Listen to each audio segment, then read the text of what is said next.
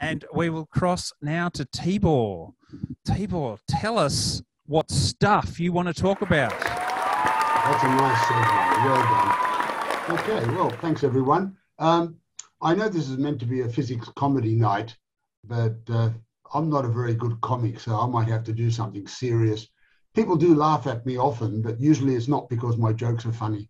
So I, I'm going to do something a little bit more serious if you don't want to do any physics, any serious physics tonight, then just zone out for the next eight or nine minutes, okay? So um, what I'm going to talk, uh, I'm going to address the question, is physics stuffed? In 1894, it really looked like physics was complete. Uh, Albert, Albert, uh, Albert Michelson, uh, he of the Michelson and Morley experiment, uh, wrote that it seems probable that most of the grand underlying principles have been firmly established, and really all we have to do is fill in the sixth decimal place.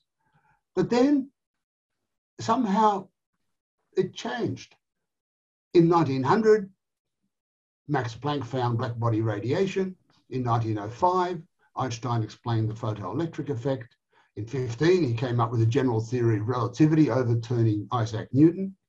In 1924, de Broglie came up with wave-particle duality, and then came quantum mechanics and the uncertainty principle and antimatter and quantum entanglement, and it just kept on going.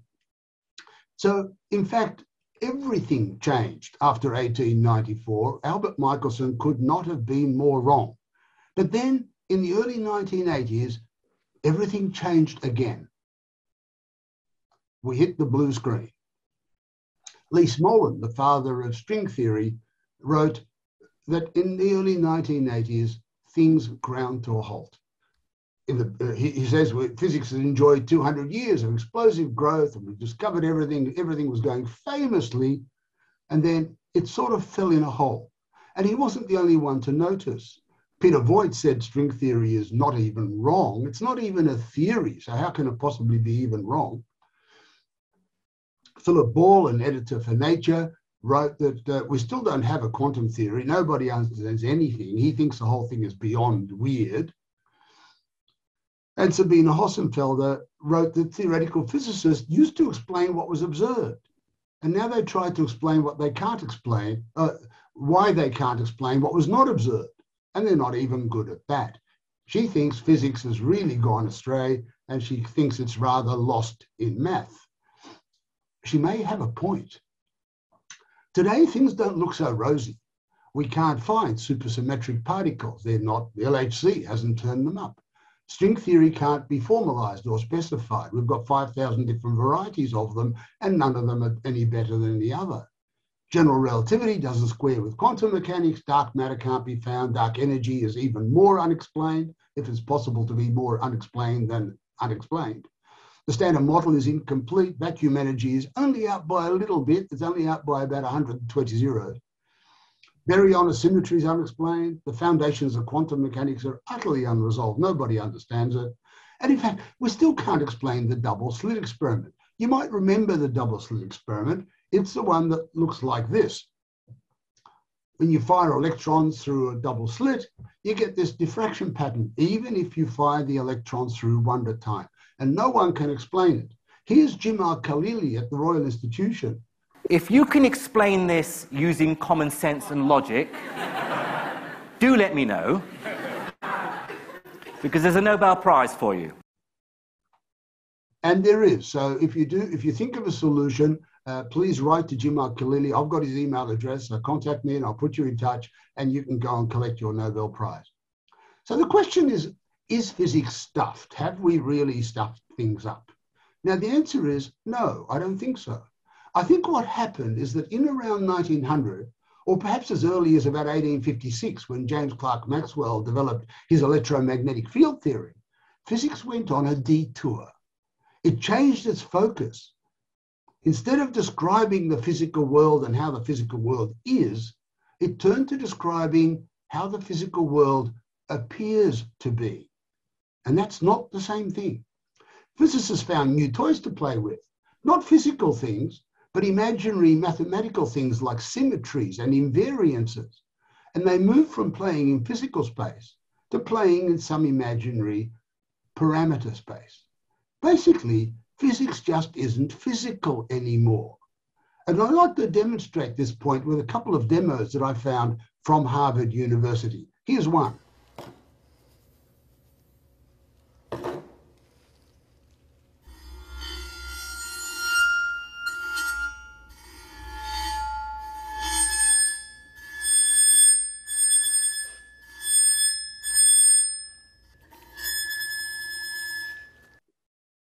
Okay, um, these are Chladni plates named after Ernst Chladni, or Schladni, as I found out his name is, a German physicist and musician, obviously, he played the violin. Um, the patterns that you can see, they get incredibly complicated. The higher the frequency of the resonance of the plate, the more complex the pattern. Now, that's fine, but the important point is this. In three dimensions, these patterns are called spherical harmonics and they describe exactly the structure of electron orbitals around atomic nuclei, which look like this. So electron orbitals around nuclei are nodes in spherical harmonics. They're minima in standing waves. There's no physical electron particle whizzing around the atom.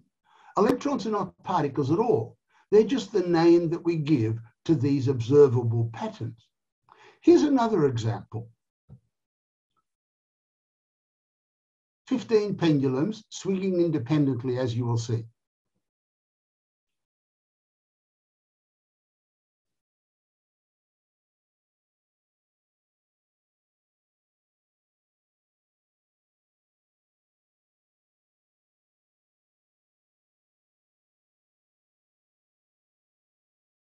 Watch the pattern, it's very interesting.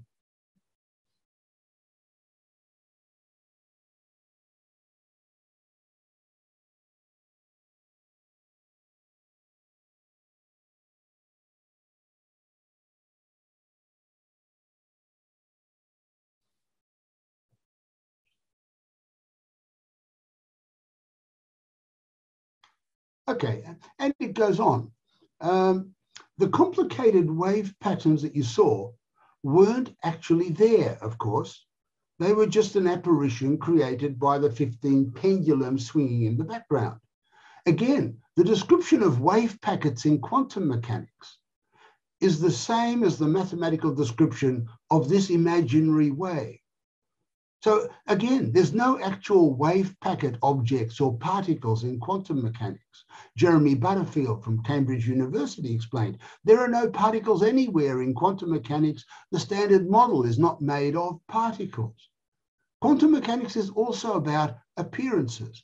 They're about the waves that you see and not about what's actually going on behind the scenes. And we know this, okay?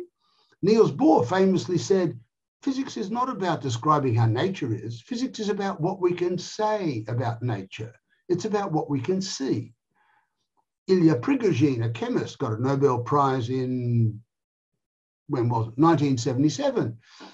He says, seeing the world from the outside is not the object of physics. Rather, it is to describe the physical world as it appears to us. So really, we're not describing physics. We're not describing the physical world. We're describing how it appears. And this makes a difference. So to me, it seems like there's nothing physical about contemporary physics. Physics isn't stuff. It's not even about stuff. There's no stuff in contemporary physics, in particular in quantum mechanics, which is more like describing or predicting appearances than it is about describing or understanding the physical world. And there's a problem with this. Appearances are not governed by dynamic or physical laws. They're orthogonal to laws. So the more we focus on appearances, the further away we get from describing what's really going on. And here's an example of that. In the Mandelbrot set, I'm sure you're all familiar with it, the more precisely we describe the circles, spirals, and seahorse tails, the further away we are from discovering the simple dynamic process that generates the entire pattern, which is just that one line equation. And so it is in the case of the standard model, for example. The standard model of particles, you can write down the Lagrangian, which looks something like this, But this is only the abbreviated version. The full version actually looks like that. And that's still not complete because it hasn't included dark matter, dark energy, and gravity. We're making it more and more and more complicated. And I think we're getting further and further away from understanding what's actually going on behind the scenes. So this leads me to ask, and I'll leave you with this question might it be the case that physics is looking at things the wrong way? Let me end by thanking Phil, Fred Osman, and of course, you. Thank you very much.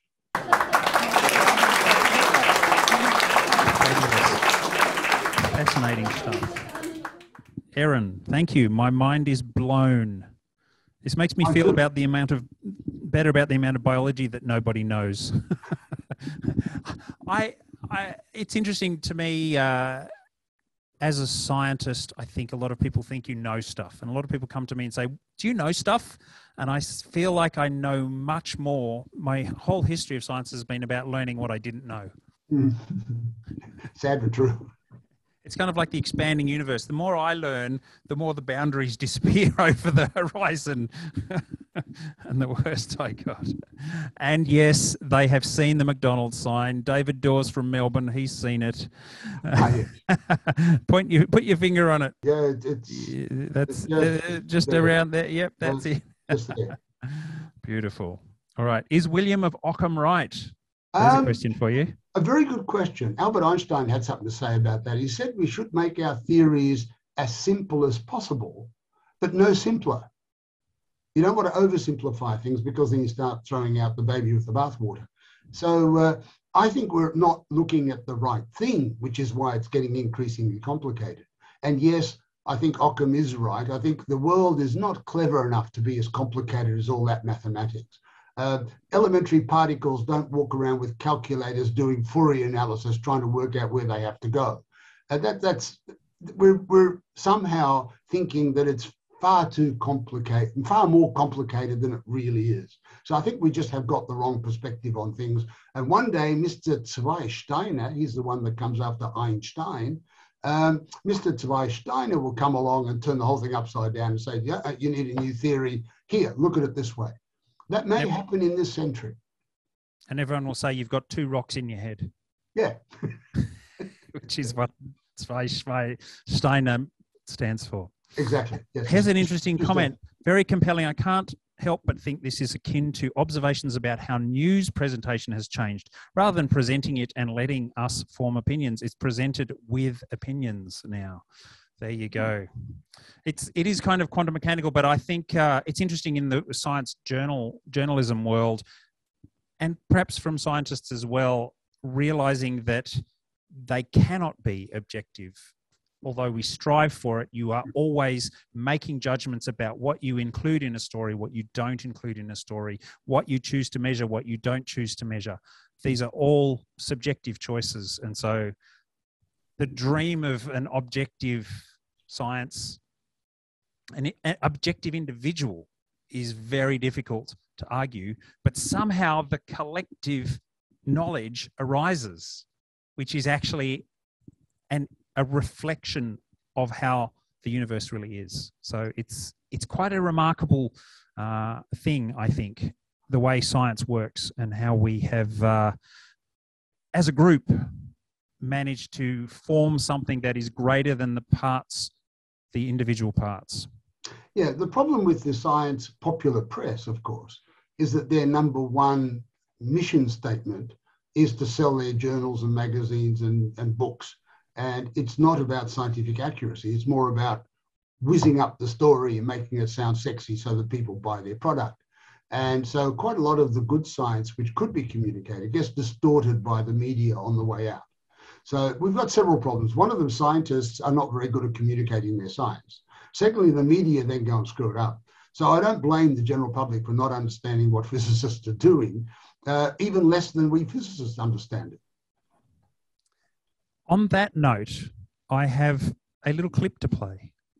So uh, I might just uh, I'll come I'll come back to it because there is another question for you. What's the state of string theory research? Has it effectively been abandoned? Um, almost. There are still only just a handful of people working on it. Brian Greene is one who loves it to death. Um, but people like Lee Smolin, he actually gave up on it. He, he publicly declared, and he does so in that book. He says, I'm giving up on string theory. He's now at the Perimeter Institute working on something else. So generally, I think string theory is largely dead in the water. It's been replaced by things like loop quantum gravity and quantum gravity of other sorts. And there's other theories around. Uh, which kind of tried to mimic or try to reproduce what string theory is trying to do. Uh, but string theory, I think, as such, has been largely abandoned. I'm happy to be uh, corrected if anyone oh. knows, anyone who's furiously working on it, but I haven't heard of anyone. Yes. Actually, I'm going to throw to Tony here, whose presentation a couple of years ago was basically the mathematical deriv- derivation from group theory of how particles come to be from a mathematical point of view, particularly as Tibor kind of mentioned that comment about there's no such thing as particles. What's your take on that, Tony? Um, I think that quantum mechanics is studying the act of observation, act of perception. It's moved away from thinking there's a universe out there and that there's us here. It's us understanding how we see the universe. That's very clear. Um, and I agree, there are no particles in physics. They're all group representations, mate. Hmm. Um, let's, and what do you know? Over, let's get together over a bottle of wine and I'll try and explain what I mean by that comment, if you like. I'm in. And right on cue, here comes Schrodinger's cat. He's just woken up and he's hungry. Have you got anything to say? Clearly not. All right. Now, don't you walk on the keyboard. He did a he did a Google search yesterday for M comma uh, while I wasn't looking. Um, I don't know what mathematical representation M comma is. Perhaps you'd like to share, Tony. All right. Enough on that note.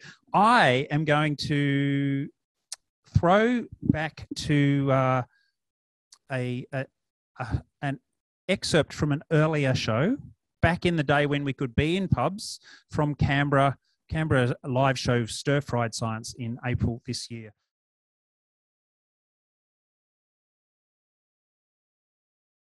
So there we go.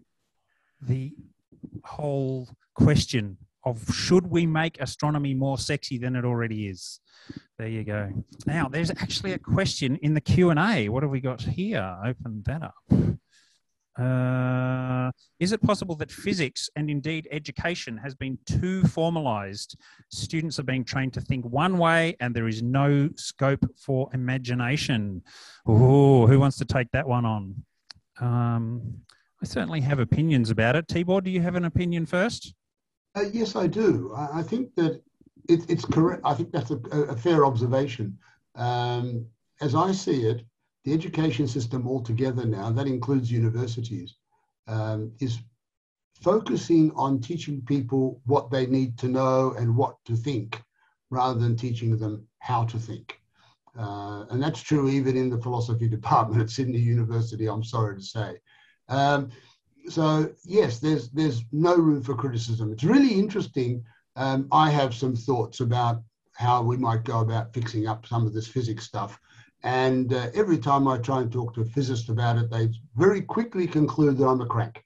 Basically, they're not interested in anything that doesn't fit in with their quantum field theories and their everything else that they're working on.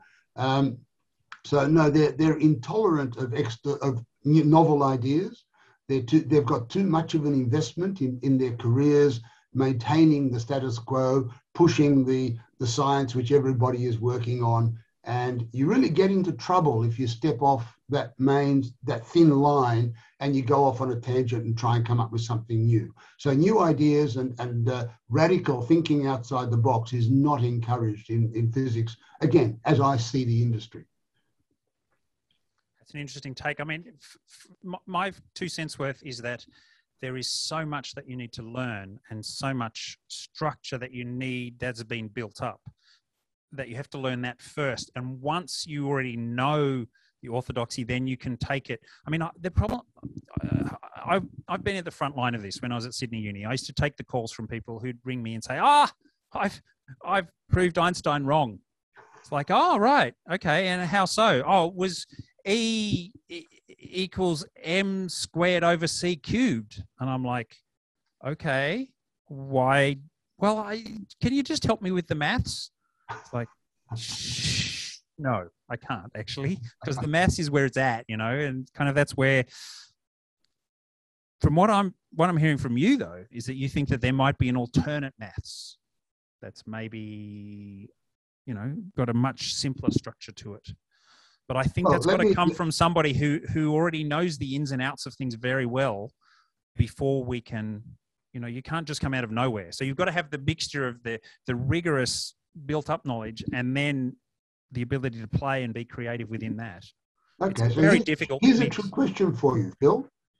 We've got an m in the equation e equals mc squared. I know it's not quite the right equation, but it's close.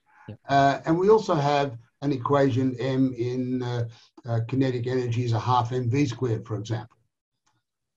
Did you know that the m in those two equations does not mean the same thing, and they don't refer to the same thing? They're different m's.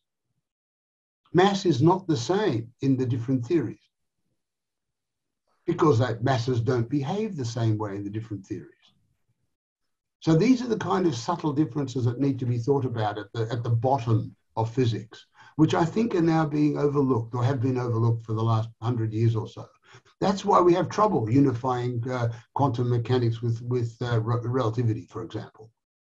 Because even the concepts that we are describing in our equations, sure, the maths is great, but they're not describing, they're not referring to the same entities. So there are some interesting subtle problems there, which, okay, uh, the person who comes to you and says it's E equals m squared over c cubed might not have got a handle on. But that doesn't mean that there aren't some really out of left field questions that somehow are begging to be asked. and that's why you as my friend uh, likes to call it as a heterodox Yeah.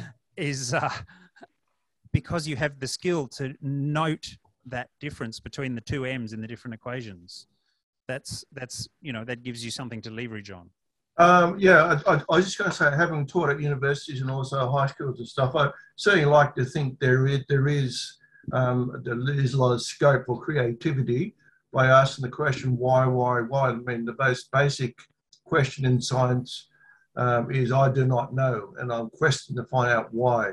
And um, physicists or scientists love being proved wrong because then they can correct their mistakes. So I certainly like to think that there is a lot of creativity encouraged in the students. And if you're teaching science at all, physics or chemistry, you should be connecting it to a whole lot of other areas in the mathematics, into everyday life. And by doing that, you get uh, students to think about what they're doing. This is such an interesting debate but but i'm going to i'm going to i'm going to call it. We've got to we've got to move on because we are now going to go to russia and look at spy planes